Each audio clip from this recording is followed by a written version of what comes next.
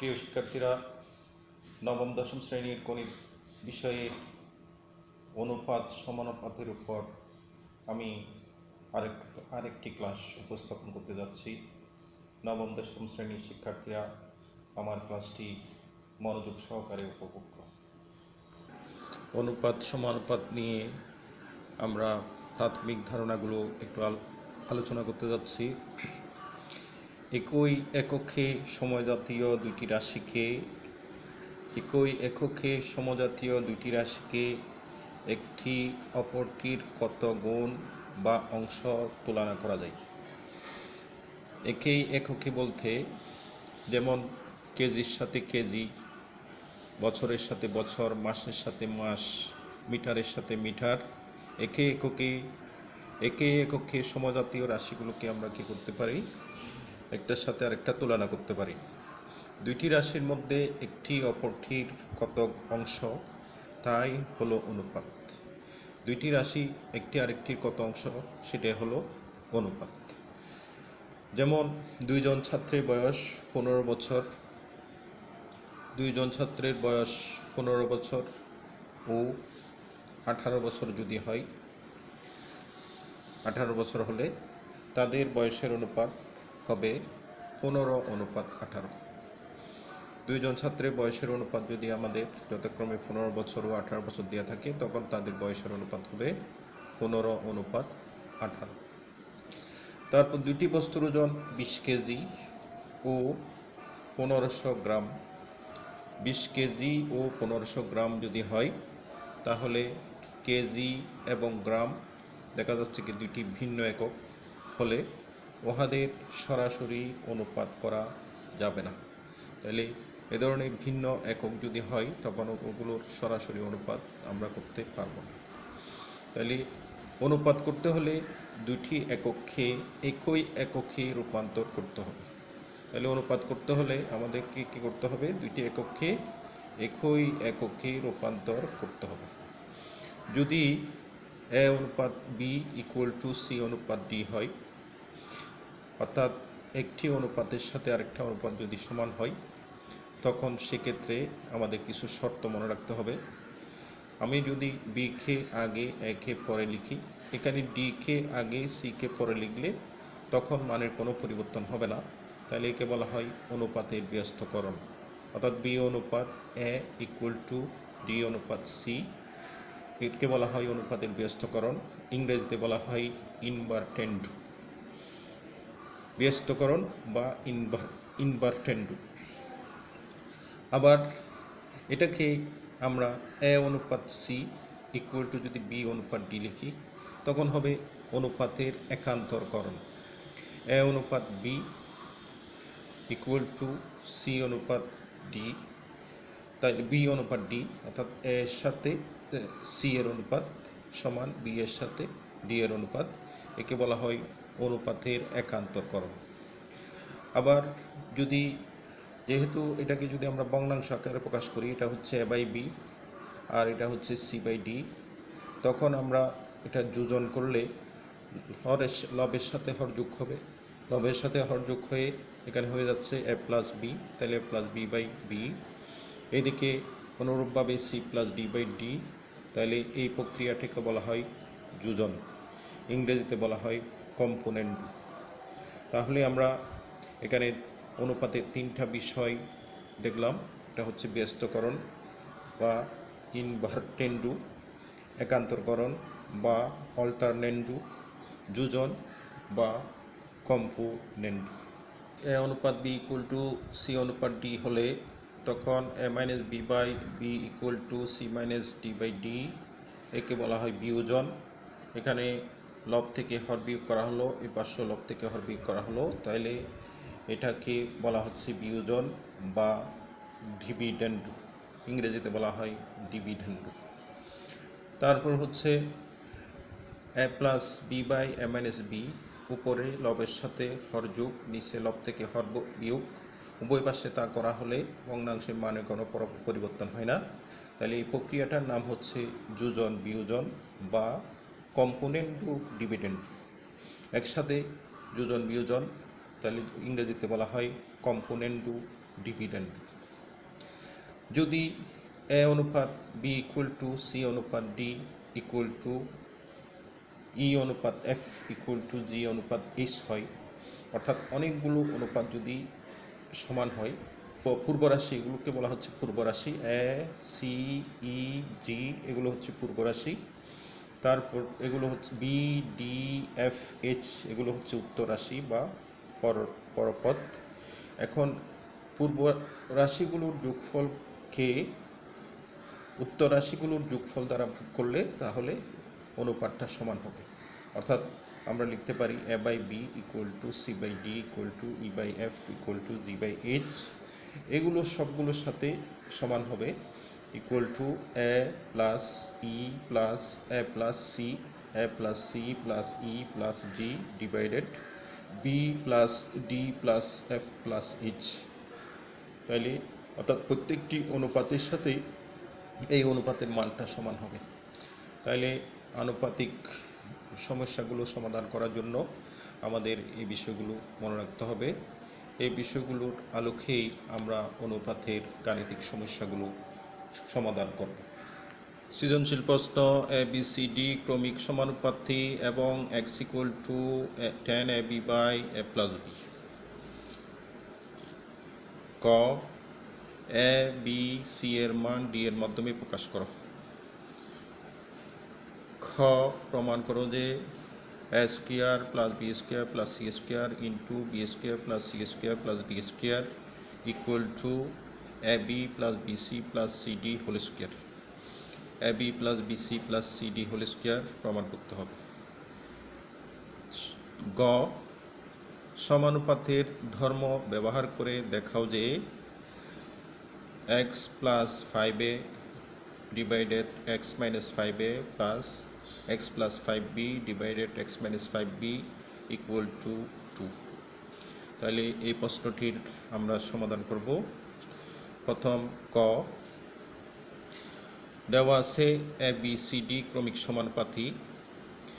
সুতরাং আমরা লিখতে পারি A by B equal to B by C equal to C by D তাইলে এখান থেকে A by B equal to B by C equal to C by D থেকে প্রত্যেকটা অনুপাতকে একটি নির্দিষ্ট ধ্রুবমান আমরা ধরতে পারি। ধরি A by B plus B by C plus C by D equal to K তো এখান থেকে আমরা লিখতে পারি C by D equal to K বা C equal to D K অনুরূপে অর্থাৎ সি এর মানটা আমরা ডি এর ডি কে এর মাধ্যমে পেলাম। আবার B by C equal to K B by C equal to K সুতরাং B equal to C K তো সি এর মানটা আমাদের বের করা আছে ডি কে তো সি এর মানটা যদি আমরা এখানে বসাই B equal to D K into K অর্থাৎ B equal to D K square এবং A by B equal to K বা A equal to B K বা এ ইকুয়াল টু তাহলে বি এর মান আমরা বের করছিলাম D K square D K square into K সুতরাং A equal to D K cube তাহলে আমরা এ বি সি ডি এর মান ডি এর মাধ্যমে প্রকাশ এ বি সি এর মান ডি এর মাধ্যমে প্রকাশ করলাম। অর্থাৎ একটা ধ্রুব রাশি কে নিয়ে আমরা এ এর মান বি এর মান এবং সি এর মান তিনটাই ডি এর মাধ্যমে প্রকাশ করলাম। তাহলে এটা ছিল আমাদের ক এর সমাধান। এখন নাম্বার ক হতে আমরা পাচ্ছি C equal to D K B equal to D K square A equal to D K cube এই রাশিমালাটা আমরা পাচ্ছি। তো এখান থেকে আমরা যেটা প্রমাণ করতে হবে, সেখানে বাম পক্ষে আমাদের আছে। A square plus B square plus C square into B square plus C square plus D square তাহলে এ এর জায়গায় ডিকে কিউব বি এর জায়গায় ডিকে স্কোয়ার তো সি এর জায়গায় ডিকে স্কোয়ার এগুলো বসে তাহলে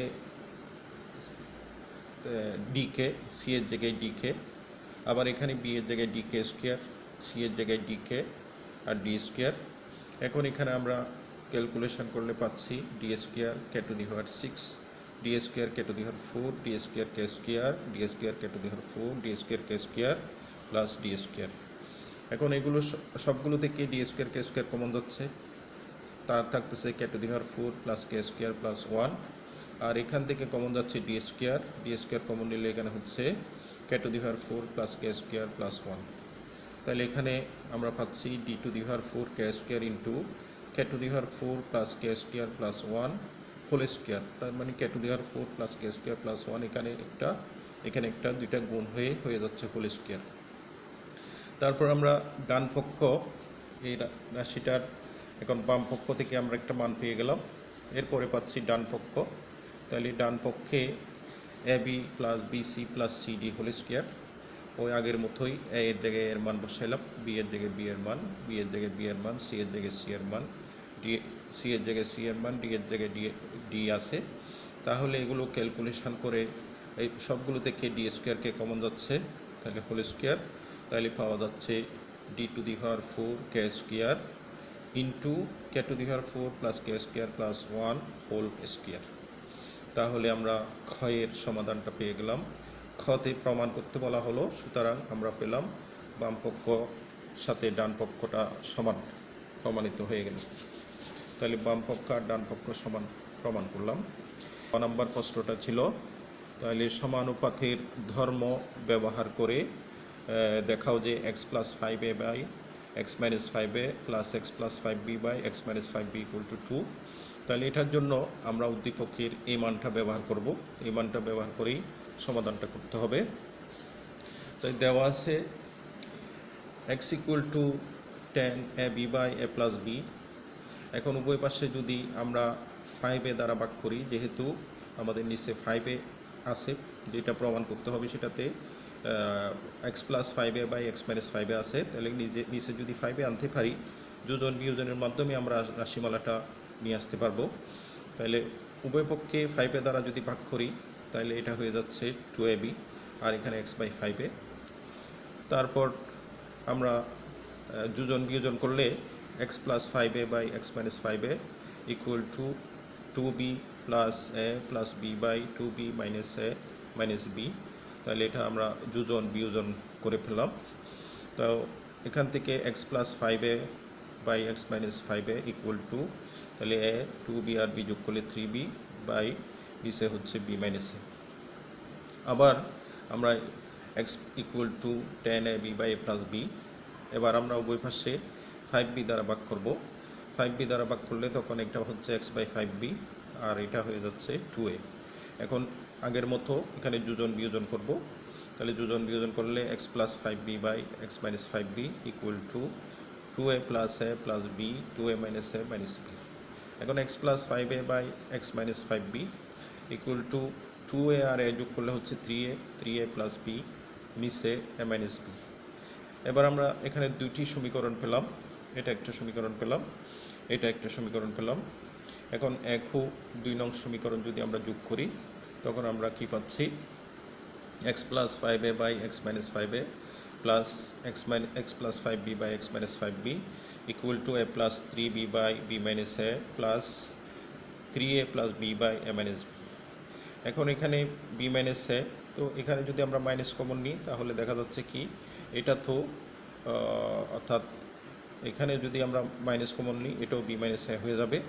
তাহলে a plus three b by b minus a minus three a plus b by b minus a অর্থাৎ এখানে যখন মাইনাস কমন নিলাম, তখন এটা মাইনাসে প্লাসে মাইনাস করে দিলাম, এটাও বি মাইনাসে এখন সহজেই আমরা দুইটার মধ্যে মিল পেলাম, লসাগু নিতে পারি বি মাইনাসে তখন হচ্ছে plus three b minus three a minus b তাহলে এখন a minus three plus three b থেকে মাইনাস বি বাদ গেলে আর হচ্ছে plus two b minus three a থেকে প্লাস এ বাদ গেলে অর্থাৎ মাইনাস টু এ নিচে হচ্ছে বি মাইনাস এ এখন উপরে যদি টু কমন নিই, এটা হচ্ছে বি মাইনাস এ নিচে বি মাইনাস এ এখন উপরে নিচে b minus a b minus a ভাগ যাচ্ছে তাহলে ইকুয়াল টু আমরা পাচ্ছি টু অর্থাৎ আমাদের প্রমাণের বিষয় ছিল by x minus five a plus x plus five b by x minus five b equal to two তাহলে দেখানো হলো। অর্থাৎ আমরা সম্পূর্ণ প্রশ্নটির সমাধান শেষ করলাম। তাহলে তোমরা একই নিয়ম অনুসরণ করে আমরা যে অঙ্কটা করলাম, সেই নিয়ম অনুসরণ করে ten x to the power minus one plus to the power minus one plus b to the power minus one দুইটি বীজগাণিতিক রাশি দুইটি বীজগাণিতিক রাশি। ক, যদি রাশিদ্বয় পরস্পর সমান হয়, তাহলে এক্সের মান নির্ণয় করো।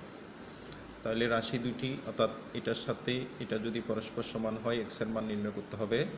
তাহলে তোমাদের বোঝার সুবিধার্থে আমি বলে দিচ্ছি, এটা x to the power minus ওয়ানকে ওয়ান বাই এক্স লেখা যাবে ওয়ান বাই এক্স লিখলে এটা হয়ে যাবে টেন বাই এক্স আর এটা হয়ে যাবে ওয়ান বাই এ আর এটা হয়ে যাবে ওয়ান বাই বি তাহলে এদিকে বি রসাগু পারব, আর এদিকে হবে টেন বাই এক্স তখন আমাদের রাশিমালাটা পূর্বের দেয়া দ্বিতীয় রাশিমালাটার সমান মতো হবে।